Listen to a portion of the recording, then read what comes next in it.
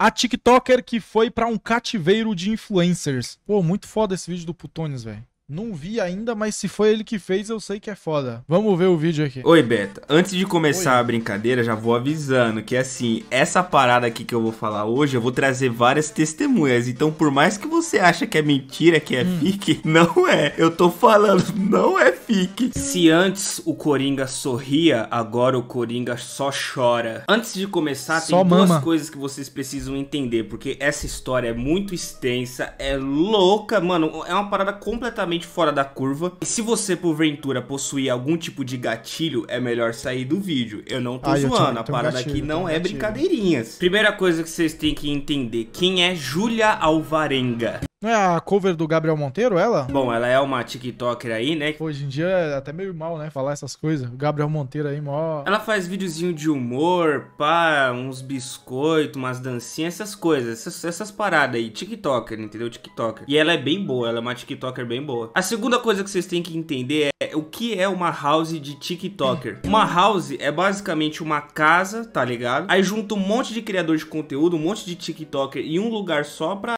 Tipo uma mansão maromba de TikToker. ah, criar É isso? conteúdo, pá, essas coisas. É tipo aquelas houses antigas do YouTube, Boa em ser gente boa, aí sim. tá ligado? Aquelas casas onde juntava vários youtubers. É Cara, essa peruca tá me fazendo coçar demais, velho. Que desgraça é essa? a mesma bosta, só que com o TikTok, entendeu? A gente vai ter que começar por partes, porque essa história é muito extensa e ela tem um plot twist completamente inesperado. Bom, pra começar, a Júlia ela fez um vídeo, tá ligado? Basicamente ela vai relatar uma experiência Troca pela cueca. Vou trocar, velho. Vou trocar. Eu não lembro como é que eu usava, velho. Agora sim, agora eu tô pronto pra reagir à treta, hein? Que ela teve em uma dessas houses. E mano, o bagulho é surreal, surreal. Antes de querer me processar, lembre que eu tenho print, foto, vídeo, vídeo inclusive postado no meu TikTok. Caramba. Se existir algum processo nessa história, era eu processando vocês pelas insalubridades que vocês me fizeram passar. E depois ela fala do nível da história que a gente vai escutar aqui Hum. hoje, sabe por quê? Porque nessa história, nessa house de TikToker que ela foi com vários influencers, Não é minha prima, não, não é minha prima, não. ela quase foi de americana. Sim, ela quase foi de arrasta Caramba, pra cima. quase Eu vou te morreu contar lá. a história de quando eu fui pra uma casa de TikTok e eu quase fui de vala. E explica aí pra nós, Júlia, como isso tudo Como foi? começou. Como foi? Sim, eu sou uma pessoa dramática, mas todos os fatos dessa história eu tenho provas. Tudo começou Coringa calvo é muito bom. em maio do ano passado, quando um amigo de um amigo meu me Pô, engraçado é que conta uma história mó séria, né? Só que se maquiando aí, deixa um pouco mais leve. chama pra ir pra uma terceira edição de uma casa de TikToker. E como o amigo dela que chamou ela, e era, porra, a terceira edição, tá ligado? Então é- era a terceira vez que acontecia essa house de TikToker. Então, porra, ela, ela deve ter pensado: ah, se aconteceu duas vezes, o que pode dar errado, né? Pô, nem era mais a versão beta, cara. Já era a versão 3 já. 3.0 na real, né? Não tinha como dar errado. Ela deve ter pensado: ah, se aconteceu duas vezes, o que pode dar errado, né? O Versão alfa, justamente. que pode dar errado, meu amigo? Meu amigo, você não tem noção. E assim, ela fala que o maluco lá, um dos organizadores, mandou uma foto pra ela de como era o local que ela ia, tá ligado? Como é que ia ser a casa e parecia ser tudo lindo, parecia ser tudo impecável, tá ligado? Ó, fino. E não ia só ela, ia muito mais TikToker, tá ligado? Pique uns 30, 40 por aí. Mas Entendi. assim, fiquem atentos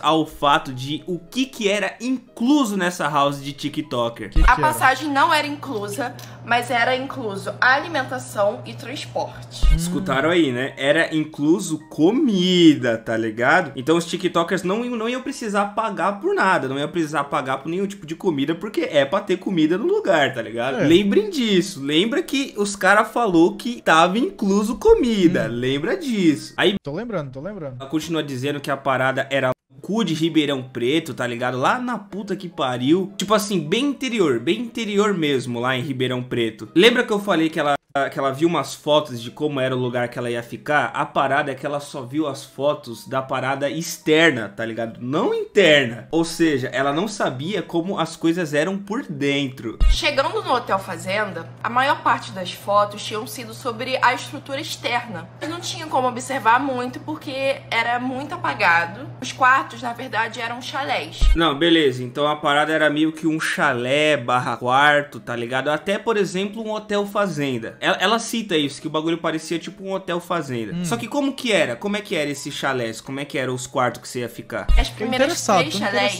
tinham condições básicas, tipo travesseiro, é, edredom, um colchão. A quarta adiante começava a faltar porta, box, privada, Era quase um cativeiro, né? colchão, lençol. Nossa, que bosta. Só tinha três chalés, só, só tinha três dormitórios que prestavam nessa média de lugar. Que porra é essa? Pra vocês entenderem mais ou menos como é que era esse chalé por Cagava na cama. dentro. Eu achei o vídeo de algumas pessoas que supostamente foram pra lá, tá ligado? E eles mostram mais ou menos como é que era o chalé que internamente. Deixa eu ver. o tour. Ó, aqui a porta. Nossa, por que ninguém abriu a porta pra mim? Aí já, olha aqui, ó o tour. E assim, Meio baixo, meio baixo. aqui começa uma sequência de eventos que vai deixar vocês aí completamente maluco da cabeça. Graças a. Deus, eu tive a sorte de dividir quarto com pessoas mentalmente saudáveis. Mais tarde a gente ia descobrir que a gente estava correndo risco de vida. A primeira Que isso, velho? Correndo risco de vida. Que que é isso? coisa estranha que a Júlia notou quando ela chegou nesse chalé é a piscina, tá ligado? A piscina que tava meio suspeita. Só tinha um lago meio estranho e a piscina que era insalubre, que era realmente Caralho, olha essa piscina, velho. verdinha, verdinha. Um verde musgo. Caralho, do nada Cinquentinha eu bebi água dessa piscina. é a piscina mais podre do mundo. Vale ressaltar também que além da piscina tinha um lago lá nesse lugar. Esse lago, esse lago a gente só vai falar dele lá na Pois beba. pô, não tem como. O lugar lá é longe, pô. Ganho 50 reais, pago, sei lá, 1.500 de passagem, chego lá pra ganhar 50. Não compensa, velho. frente, mas lembra, lembra que tinha um lago lá. Mas o primeiro grande desafio que a Júlia enfrentou aí ne- nesse lugar foi a comida. Foi nos prometido comida, a comida era inclusa. Assim que nós descemos, não tinha comida. iFood não entregava, Uber Eats, você tinha que sair dali pra ir no mercado. Uber Caramba. não chegava lá. Então era necessário que alguém com carro fosse ao mercado. Mano, não parece cena de filme de terror, tá ligado? Vai uns amigos pra uma casa no meio do mato, aí do nada começa a sumir um, depois some outro. Mano, isso é muito cena de filme de terror, cara. Bom, vocês vão ver que a falta de alimento vai ser uma parada recorrente nesse vídeo aqui. E bom, o O Jason vai sair da piscina. por que, que teria essa falta de alimento? Bom, aparentemente porque é, rolou algum golpe aí, supostamente, né? Que basicamente o dinheiro que seria pra comida ele estaria sendo supostamente desviado, digamos assim. Eu vou trazer aqui Caramba. uma testemunha que vai falar sobre isso. Corrupção até na casa de influencers, rapaziada. Tá, tá foda, hein? Esse governo Lula. Faz o L agora. Faz o L.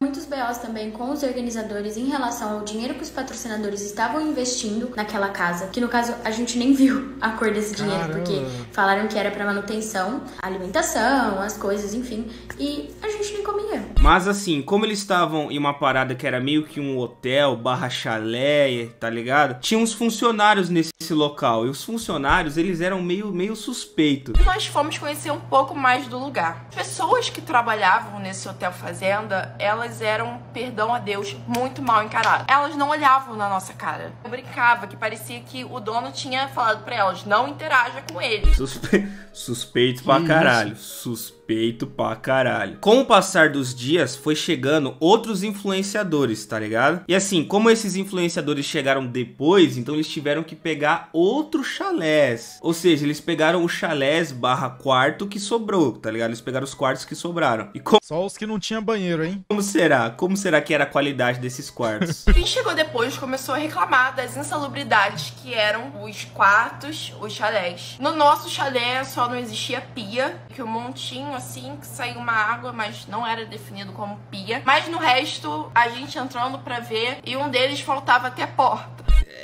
Caramba, não tinha porta no quarto, velho. É, não sei, tá começando a ficar estranho, mas calma, calma. Isso, isso daqui vai pi- Não, tá, tá ficando interessante, a história tá ficando interessante. Calma aí. piorar e vai piorar muito. Contando história e rebocando uma parede. Posição.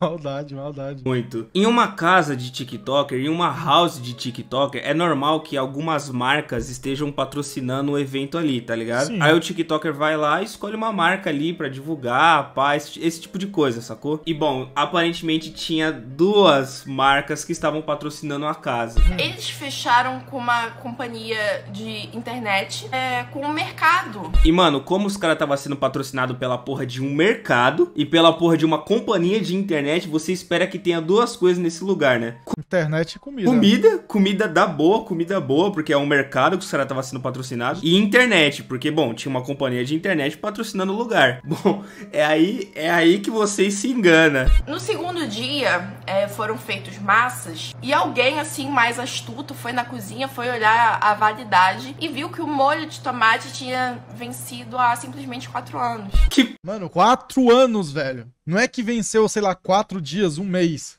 Quatro anos, cara. Mano, isso tá ficando bizarro, velho. porra é essa, mano? Quatro anos, quatro Mano. anos a parada tava vencida. Era simplesmente o pior mercado da história que tava patrocinando essa porra desse evento. E lembra que eu falei que eles estavam Tava dando só os restos, tá ligado? Só as comidas vencidas. também sendo patrocinados por uma companhia de internet. Então, aparentemente, essa companhia aí ia organizar uma gincana, tá ligado? Para os influenciadores gravar a parada e depois postar pra divulgar. Iam montar vários, vários jogos, várias coisas pra gente fazer. A gente ia fazer, ia postar como forma de agradecimento. Só tinha um porém aí. E aí, qual que é o porém que tu Qual acha é? que, que tem aí nessa história? Qual? Qual que é o porém? Porém, é, eles não vão ganhar dinheiro nenhum. É isso? Será? Porém aí, a internet não funcionava. Porra, velho. Tá bem no meio do mato a casa, velho. No meio do mato, aí é foda. Divulgar um mercado que nos deu produto vencido e divulgar uma internet que não existia. É isso aí, é exatamente isso. O mercado que entregou comida vencida pros caras e uma provedora, uma companhia de internet que não dava internet pra ele. Caramba, velho. Só os patrocinador pique, hein? Olha, olha, olha, meu Deus. E eu sei o que você tá se perguntando. Mano, por que, que a Júlia simplesmente não foi embora? Bom, eu não vou tocar muito nesse assunto, tá ligado? Porque é uma parada aparentemente muito pessoal pra ela. Mas basicamente, o- infelizmente, o avô dela veio a falecer, né? E ela nunca tinha perdido ninguém, entendeu? Então era uma parada muito recente pra ela. Caramba. Então ela não queria lidar com a perda do avô dela. E aí ela tomou a decisão de ficar lá, tá ligado? E enfrentar os dias. E depois ela ia, infelizmente, se arrepender amargamente de ter ficado naquele lugar. E agora, amigos, mais um preocupado. detalhe pra essa história. Acabou Mas se ela tá contando a história é porque sobreviveu, né? Então tá de boa. Acabou que chegou mais gente. Só tinha um detalhe que Não tinha mais lugar pra sabia ficar. entre uma dessas pessoas que chegaram. terceiro dia, chegou mais gente. Umas pessoas que vieram, se eu não me engano, de Recife. Entre elas, a gente não sabia, mas existia uma viciada que breve, breve ficaria sem seus suplementos e iria surtar. Caralho, velho. Mano, isso é muito roteiro de filme. Cadê a Netflix que não faz um filme sobre isso, velho? Sim, sim, exatamente. Uma suposta viciada Maconha. em uma house de TikToker em um lugar suspeito pra caralho. Mano, é a fórmula perfeita pra dar merda. Lembra que eu falei da parada da comida? Que a comida estaria incluso nisso tudo? Que a house ali ia fornecer comida pros influenciadores? Bom, aqui se inicia o maior problema envolvendo a comida. Sabe qual que é? Bom, é que não tinha comida. A gente não tinha café da manhã. Caramba, velho. Mas não precisa, né? Porque TikToker acorda meio-dia, não é? Ou não? Ou é só YouTuber? Pô, porque eu, eu gosto de acordar meio-dia, cara. Lembro até hoje, e qualquer influenciador que pisou os pés lá e tá vendo esse vídeo, vai lembrar. Tinha um saco de pão fornecido por esse mercado. Nossa, mas eu não comia nada vinda daquele mercado. Nada, nada, nada. Nem o eu, bagulho dava a parada vencida pra eles, Venci de quatro anos, cara.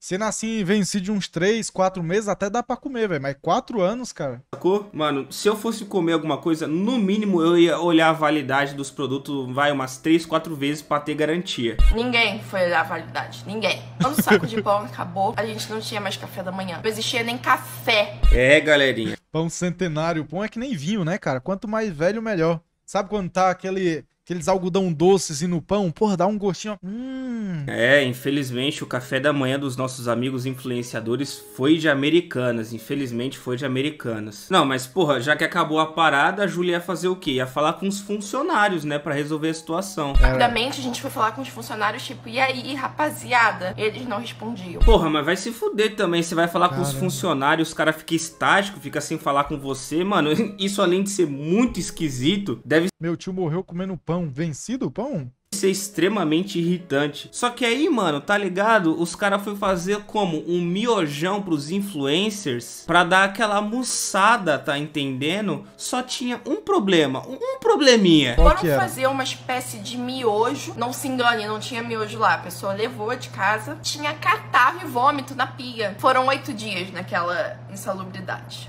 Meu Deus, catarro e vômito. Mano, que tipo de lugar era esse, cara? Não, não, não é tipo um, um largados e pelados que a galera tinha que ir no mato caçar a comida, velho. Eu acho que eles entenderam errado a parada, não foi? Acho que eles tinham que sair pra caçar a comida, velho. Acho que eles não entenderam. Mano, que porra de lugar é esse, Teve revoada. velho? Co- que- que- Pois é, mano, as coisas estão começando a ficar esquisitas, mas vocês não viram nada ainda. É sério, vocês não viram nada ainda. Falando isso, agora a gente vai entrar em coisa pesada, tá?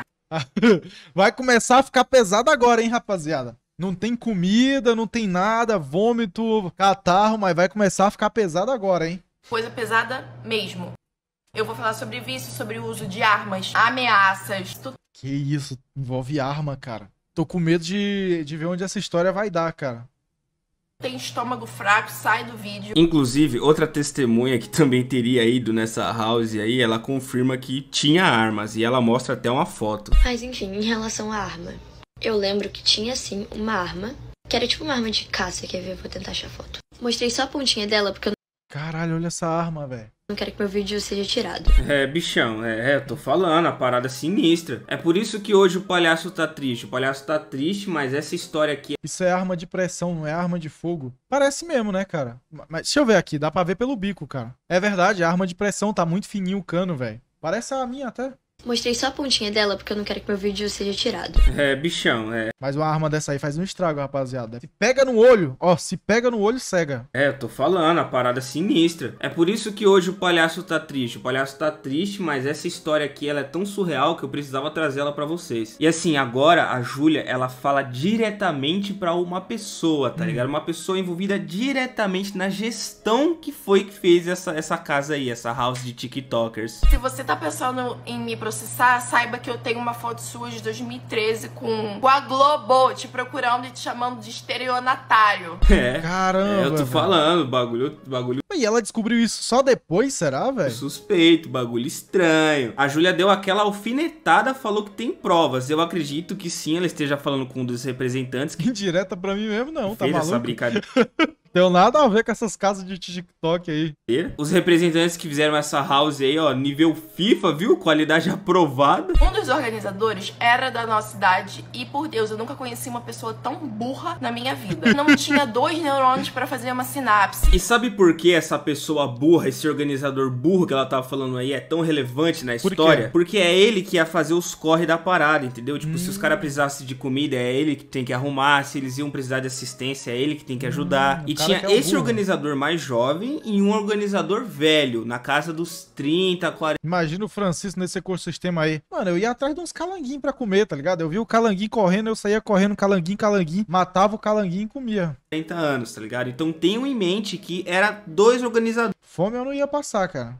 Um novo e um velho, entendeu? Entendendo isso daí, bom, Foram participar de No Limite. ela começa a falar agora desse, desse organizador mais velho. Até aí estava resolvendo o- os BOs de todo mundo. Ele estava fazendo tudo para todo mundo. Então, ele foi no mercado com o próprio dinheiro e comprou várias. Mas ele pelo menos foi lá e fez. E sabe por que o mano tinha que ir lá e resolver, pegar comida Hum. e ajudar? Porque, bom, lembra que eles fecharam um patrocínio com o mercado? Aparentemente o mercado deu comida pra eles pra uns dois, três dias. Só que eles iam ficar lá pique uns 10 dias. E vale Caramba. lembrar também que aparentemente a comida que o mercado forneceu ainda tava vencida. Vai Tava vencida. tomar no cu. Que porra é essa? Esse organizador estava sendo um querido, mas com quem gostava dele. Ele se abriu pra mim e para as pessoas que estavam no meu quarto, falando que estava muito difícil pra ele. Ele tinha comprado aquele terreno ali pra trazer a mãe dele que estava em estado terminal de Ah, câncer. Vocês escutou aí, né? Vocês escutou. Mó história triste. E o maluco aparentemente legal, porque ele tava ajudando. Ele disse que ele comprou aquele terreno ali que eles estavam, ou seja, aparentemente era propriedade dele, aquele chalé. É aquele hotelzinho ali. Hum. Uma coisa que eu não me recordo de ter comentado tanto é que tinha um lago lá. Tinha um lago nesse Comentou, lugar. comentou. Começou a me inculcar foi aquele lago. Lago, se eu tiver vídeo, eu espero que eu ainda tenha o vídeo, que eu paguei muita coisa. Pô, isso aí é pra criar peixe, cara. Isso aí é bom. Porque eu fiquei com trauma, tá? Demorou um ano pra eu falar sobre o assunto, então. Lago que era verde, era insalubre. Tipo, eu, eu me sentia mal quando eu tava perto daquele lago. Pô, ela usa muito a palavra insalubre. Eu não sei nem o que isso significa. Tipo assim, o lago todo fudido, tá ligado? O bagulho mais podre que o rio Tietê. Parecia aquele, aquele laguinho que tem em Chernobyl, cheio de radiação, tá ligado? Em uma house de TikTok, é normal que os organizadores te cobrem pra gravar as paradas, tá ligado? Justamente pra divulgar as marcas, esse tipo de coisa. E os caras lá, de acordo com a Júlia, cobraram também pra rapaziada, pros influenciadores começar a gravar as coisas, tá ligado? Só que tinha um porém, tinha, tinha um porém. Não tinha internet. Casa de TikToker, você tem que gravar. Os organizadores começaram a ficar ao nosso pé pra gente gravar conteúdo. E realmente, muito mais que certo. Insalubre é aquilo que não é salgado, tipo comida de presídio. Ah, um lago que não é salgado. Mas geralmente não é pra ser salgado mesmo, não, velho. Mas não nos forneciam comida. E a comida que tinha, quem comia passava mal. Mano, que porra é essa? Que, que porra é essa? Já Tava comendo sabonete lá. Teve o probleminha que a gente viu aqui da falta de comida. Por exemplo, acabou o pão, já era o café da manhã. E agora tinha mais Insalubre é o que não é saudável. Ah, entendi. Agora, agora faz mais sentido. essa que se você comesse alguma coisa tu passava mal, mano. Pra vocês terem noção, pra vocês terem noção como essa parada da comida era crítica, se liga nisso daqui. Um amigo que foi comigo, ele levou um, um pacote de cheetos. Ah, quando você viaja e aí você leva algum Sei. biscoito assim, você não come e fica. Ele racionou aquele pacote de cheetos por oito dias. Como eu disse, tinha outros influenciadores lá, por exemplo, esse daí que é o Pô, o cara tem quase 3 milhões de seguidores. Gigante, velho. PH Maria Fifi, e ele meio que confirma essa parada do salgadinho. Esse daqui é o salgadinho que a Júlia falou que foi racionado por uma semana. Tá vendo, mano? A situação tá começando a ficar crítica, mas, mas mano, a gente não chegou ainda nem, nem na ponta do iceberg, pai. Aí Pô, onde que isso vai chegar, velho? Tô, tô começando a ficar preocupado já. Aí chegou o terceiro dia, o terceiro dia, e no terceiro dia ia rolar uma festa. Nesse momento aqui, nessa parte aqui do vídeo, a Júlia ela relata, né, que houve uma ocasião ali que uma menina acabou supostamente sofrendo assédio. Não vou colocar isso aqui Caramba. no vídeo porque eu não acho Pesado. legal, não me sinto confortável em falar sobre esse tipo de assunto. Mano, se você acha que essa parada já tá tomando proporções gigantes, tá ligado? Porra, é muito triste. A menina, depois a Júlia disse que ela começou a se culpar pela situação. Cara, absurdo, mano. Absurdo, absurdo, absurdo. E depois disso, mano, os caras teve ainda que racionar a comida porque não tinha, tá ligado? A garota começou a se culpar, então tinha muita coisa acontecendo ao mesmo tempo. Restrito de comida, a gente tava dividindo, cada um só podia pegar um quarto de um pedaço de frango, porque Esse pessoal não poderia só ir embora? senão ia faltar pra possível Essa Júlia que é irmã do Gabriel Monteiro, pior que é, velho. janta. A gente tava já com os Parece, né? nervos muito aflorados. Pra trazer mais veracidade pra história, eu trouxe outra influenciadora agora que aparentemente estava lá também nesse evento aí junto com a Júlia e que também confirma essa parada da fome, tá? Mano, e quase 4 milhões de seguidores, velho. Só influenciador grande, cara. Esse pessoal não tinha dinheiro suficiente, assim, pra sair de lá, será, velho? Tá ligado? É, tinha sido combinado com a gente que ia ter café da manhã, almoço, café da tarde e jantar. Plot twist, não tinha nada. A gente fazia só uma refeição por dia e mesmo assim tinha que ser contadinho pra não faltar pra ninguém. Mano, que, que bagulho, que bagulho bizarro, mano. Mano, é quase o filme lá, O Poço, né, velho? Quem chegasse primeiro lá e pegasse mais comida se alimentava, o resto passava fome. Que, que porra é essa? Bom, e como eu acabei de falar, tinha As minas explanam fazendo maquiagem. Pô, mas é mais, mais entretenimento, tá ligado? Fica, fica a fofoca e a gente prestando atenção na maquiagem, mó foda. esse problema claro da fome, mas aparentemente ele deu até que uma aliviada. No quarto dia, a gente finalmente conseguiu um aplicativo pra entregar comida. Chamava Ai Que Fome, mas demorava quatro horas pra chegar. E eu não tô Caramba. exagerando, não tô fazendo drama nem nada. É, tá ligado? O bagulho, tipo, demora 4 horas, mas, mano, é Quatro melhor que horas. nada. Mas aí, lembra que uma das pessoas que tinha chegado lá de influenciador novo era uma mina que aparentemente era viciada em drogas, em drogas? Uma garota padrãozinha make de padrão, não tem nada, porque, é, gente, eu me acho feia, mas a garota, pessoalmente, no Instagram, você acha que ela é a Barbie. Você chega pessoalmente, você fala assim, caralho, Barbie, você tava na Cracolândia? Eu achei meio nada a ver falar da aparência da mina, porque isso não é relevante, mas eu confesso que o apelido Barbie da Cracolândia é bem engraçadinho. Eu confesso que eu soltei algumas risadinhas, porque o apelido é, é bem engraçadinho. É engraçadinho, mas enfim, continua aí. A garota fingiu um sequestro pros pais pra pedir dinheiro pra comprar. Uma situação muito triste. Oi, então, descobriram quem era a tal da Barbie da Cracolândia Ih, explanaram a mina aí, ó.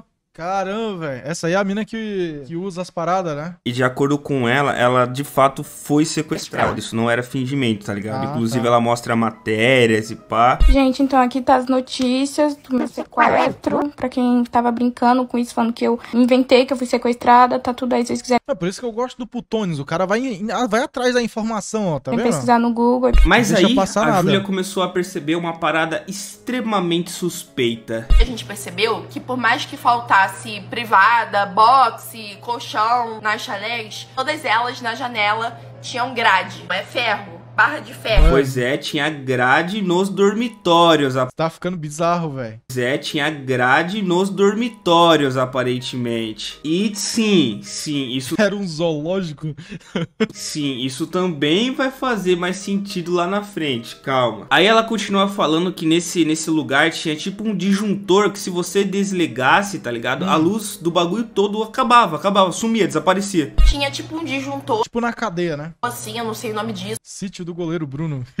Uma clicada de botão, você conseguia apagar as luzes de todo o hotel. Tá tá pior que a Febem. entendendo? Tá entendendo que tinha essa porrinha que se tu desligasse, acabou, acabou a luz, acabou a luz? Pois é, aí isso aí aconteceu. Uma pessoa no banho, eu gravando, todas as luzes apagam. Gravei áudio chorando, porque a gente tava no meio do nada. Tô falando. Pô, é bizarro, velho. Bizarro. Mano, mano, tô falando, o, o bagulho é pique cena de filme de terror, tá ligado? E adivinha, adivinha qual que é o maior clichê de filme de terror? Que quando apaga todas as luzes, a pessoa vai lá investigar, né? E Cortaram o gato. Pois é, né? adivinha, adivinha o que a Júlia fez quando apagou todas as luzes? Mano, essa parada de investigar as luzes que apaga é quando morre a primeira pessoa nos filmes de terror, velho. Porra, a primeira coisa, apagou a luz de tudo. Primeira coisa é eu procurar uma cama e entrar embaixo, tá ligado? Ela foi investigar. Eu sou uma pessoa sem senso. Descer pra ver o que tava acontecendo. E mano, quando ela foi lá investigar, ela descobriu uma parada simplesmente inacreditável. Lembra que eu falei que a rua era asfaltada? É, botaram uma corrente no meio da rua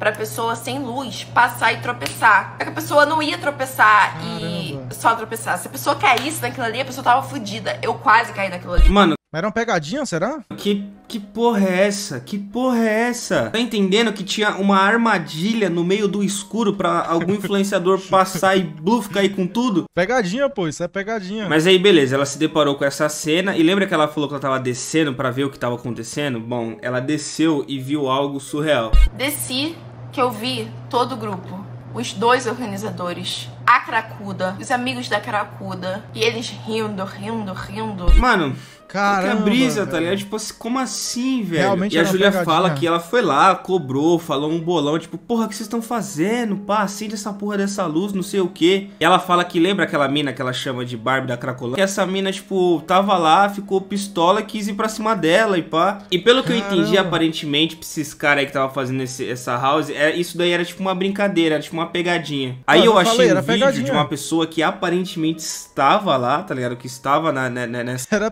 trollagem.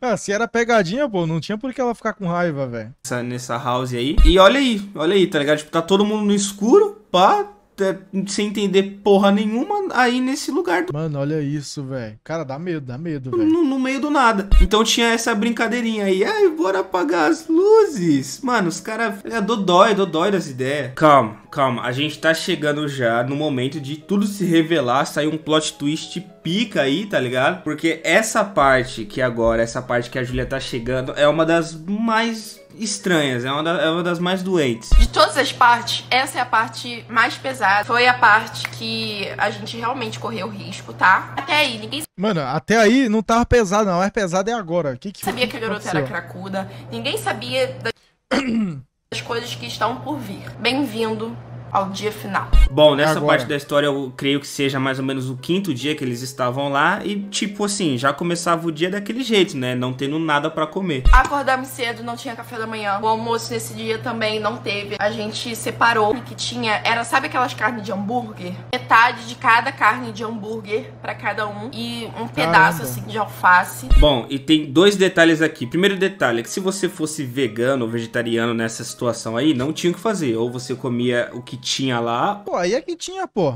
Não, não era numa casa no meio do mato? Pô, se a pessoa é vegana aí, ó, só o que tinha era comida, pô. ou, ou você passava fome. Outro detalhe interessante é que assim, faltava comida, né? Mas Era literalmente um largados e pelados. Só que você lá só é largado.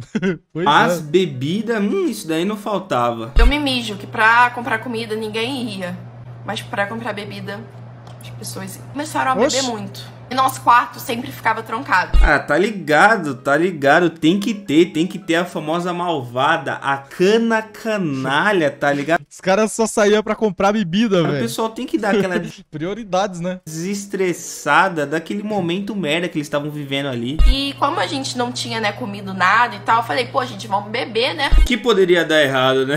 Que Pô, Barriga vazia, descendo uma dose, ó. Porra. poderia dar errado? Não comeu nada e ainda bebeu. O que, é o que, louco, o que velho. poderia dar errado? Olha essa e bom, combinação. agora ela fala daquela suposta Barbie cracuda lá que aparentemente ficou desesperada porque, bom, alguém aparentemente fingiu uma convulsão. Saímos assim, a garota gritando, porque um bofe fingiu que tava tendo convulsão. E a garota, que tava, né, sem ali a droga dela e tinha bebido. É a fórmula pra dar merda, né? É a fórmula pra dar merda. A mina tava sem o Derege Johnson dela, sem a droga dela e bebeu. Aí beleza, a Júlia ela fala que ela pegou uma bebida, tá ligado? Uma bebida da Braba, um belo drink, um bom drink. Aí ela voltou pro quarto dela e aí começou a acontecer coisas estranhas. Enchi meu copo, enchi o copo das colegas, tamo pro quarto. As colegas. Ah, ficamos lá, trancados. Começaram a bater na janela, mas eu pensei, ah, a gente escuta um disparo. Dava pra imaginar tanta coisa. Mano, cê, Mano, olha isso, velho. A mina do nada escuta batendo na janela. Ela não abriu, ela escuta um tiro. Você tá Caralho, trancada velho. no quarto, alguém começa a bater, sei lá, na porta ou na janela e do nada se escuta um disparo. Mano, é muito cena de filme, velho. Muito, muito, Depois desse vídeo queremos o Francisco de Crópolis. Dá certo, dá certo. muito cena de filme. Mas assim, o que será que estava acontecendo fora daquele quarto e por que que a Júlia teria escutado um disparo? Bom, A garota começou a surtar que esse organizador mais velho, ele tinha uma arma no chalé dele. Ela foi pegou a arma. puta que pariu. É, é a melhor combinação possível. Uma mina com abstinência de dorgas e uma arma, né? E, e uma arma. Mas bom, a situação só vai piorar. Ele pegou a arma na, da mão dela e falou que se ela não parasse, ele ia disparar. Nisso Meu Deus do ele céu, deu um tiro velho. pro alto. Mano, é a melhor forma de se resolver uma situação, né? A mina tá histérica, tá com supostamente abstinência de dorgas. Aí tu vai fazer o que pra resolver? Tu vai ameaçar ela. Mano, o que... Bom, essa situação é engraçada. Caralho, velho, que bizarro, velho. engraçada, né? Porque assim, tá ligado? A Barbie, a Barbie da Cracolândia, né? De acordo com a Júlia. Então, ela meio que confirma essa história e não só confirma, como ela fala que era uma trollagem, trollagem pegadinha do zóio. Sim, teve Ah, era trollagem? brincadeira Ah, então tá de boa, pô. Trollagem com arma atirando pra cima. de arma, que foi com o dono do hotel, que brincou com isso, e foi diretamente comigo, falando que ia me matar, que foi uma trollagem, porque eu já tinha discutido com algumas pessoas da casa, realmente. Mas bom, aqui Mano, olha os níveis das trollagens, velho. Não, mas o- a trollagem é o argumento deles, é, é tipo, o, o- é um personagem pra MC Poquinha, tá ligado? A MC Poquinha fala, não, eu sou só uma personagem. Aí os caras lá na casa de influência, não, é trollagem, é trollagem. A gente deu tiro pra cima, ameacei matar ela, mas é só trollagem, pô. Brincadeira sadia. que começa. Mais hardcore que o zóio. que começa o porquê que aconteceu tanta loucura nesse lugar. Vocês vão entender, é bom se preparar. Beleza, tipo, a Júlia fala que depois de- de- dessas paradas ela teve que ir numa festa, entendeu? Pra fazer presença VIP nessa festa, o que é muito normal pra influenciador. E assim, ela decidiu dormir na casa de uma amiga lá de, de Ribeirão, pelo que eu entendi. Só que assim, aparentemente a mãe mãe dessa amiga dela conhecia esse cara, uma das pessoas que estavam organizando a festa, tá ligado? Lembra que era um mais novo e um mais velho? Então, a mulher conhecia o mais velho. Fomos dormir na casa da minha amiguinha de Ribeirão. Coincidências da vida, a mãe dela conhecia é, esse organizador mais velho. E agora, pega lá na memória que aquele organizador mais velho tinha falado que, porra, comprou aquele terreno lá que eles estavam, que a mãe dele tava com câncer, tá ligado? Lembrei, lembrei. Ligado? Porra, o cara pagando de bonzinho, pega isso lá na sua memória, o que eu falei lá no começo do Eu vídeo. lembro. E bom, aqui vai. Lembra que ele falou que tinha comprado a casa? Era Lembrei. mentira. Lembra que ele falou que a mãe dele estava em estado terminal no Nordeste? Era mentira. Caramba. Nem direito ele fez. Ele mentiu até o nome dele. Ele era um estelionatário. Ele ganhou dinheiro da, dos bofs, donos desse hotel fazenda, pra ser lá. Ele colou com outro organizador, porque esse outro organizador, como eu disse, era é uma das, pessoas mais burras que eu conheci na minha vida. E lembra o lugar que eu Caramba, falei que eles Mano, olha isso, velho. ficaram, que era todo fudido, que tinha tipo só três quartos que presta, que Quero ir um rolê desse, onde encontra essa gente.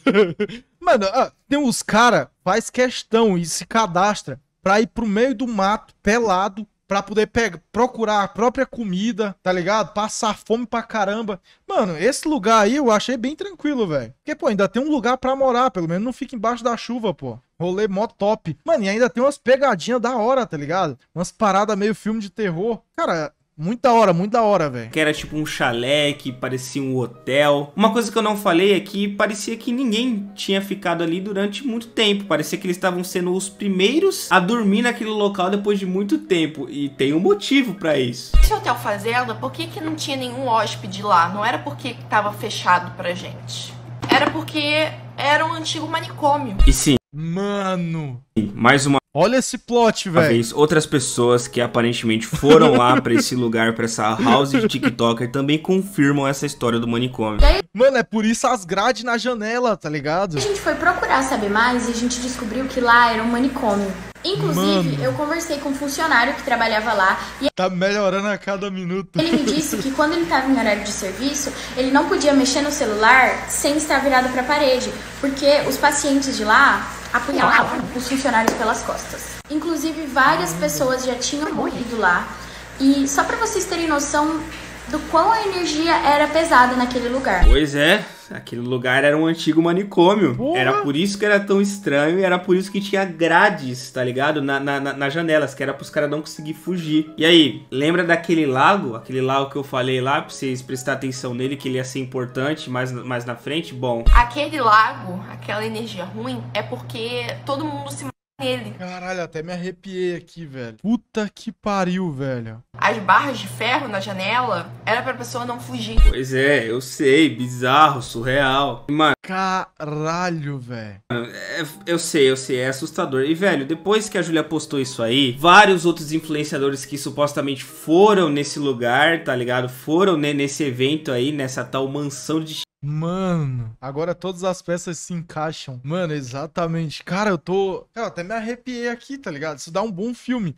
Mano, demais, velho, demais. TikToker, nessa Quero muito ir aí.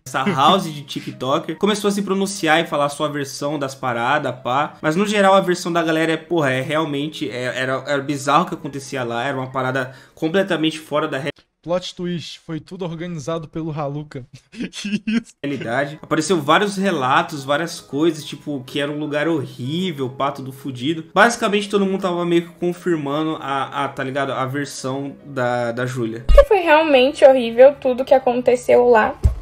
A gente passou fome, realmente. A gente tomava banho com sapo e Não teve nem, ó. barata. Que era no mato, num chalés, assim, abandonado. Depois já descobri que era um hospício. Mas assim, é, queria falar pra vocês que eu estive presente nessa casa.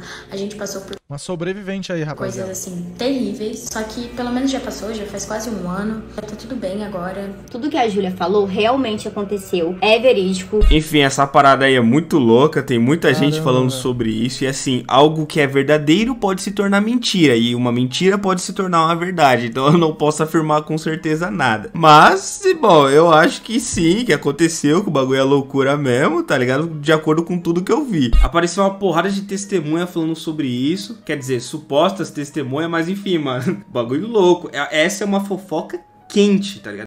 Fofoca quente essa aí mesmo, velho. Quente pra caralho. Mas Mas será que eles tomaram banho lá no açude, velho? Imagina, tu dá um mergulho, tá ligado? Tu vai nadando assim, tu na- do nada bate a mão assim num braço. Aí tu pega o braço assim, aí começa a jogar na tua amiga, fala, "Tro- é trollagem, é trollagem. Mas aí, a grande moral Pra mim é fique. Mano, é que foi muito detalhado, tá ligado? Sei lá, cara. Porra, dá- daria um puta filme isso, velho.